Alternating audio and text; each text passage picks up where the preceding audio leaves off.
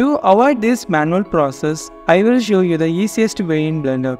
First, we need to enable the Loop Tools add-on in Blender. Go to Preference and type Loop in the search bar, then enable it. Next, I am going to select the right and left side loops because I want to straighten the center loop. Then right click and select loop tools then choose curve. Next I am going to try this with different examples.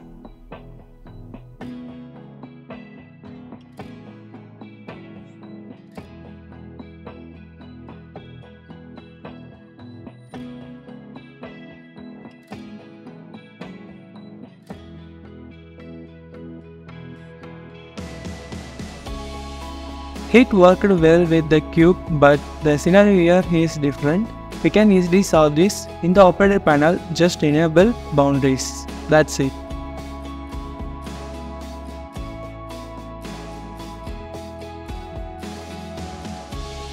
Next, in this case, it's a bit different. I'm going to add a loop here and I want this loop to follow the proper edge flow. First, select all, then deselect the particular loop, right click and choose curve. It's still not proper, so in the operator panel, just disable boundaries and regular. That's it. Have used a simple mesh for this example.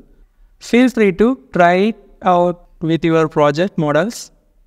And if you have any doubts, please leave a comment.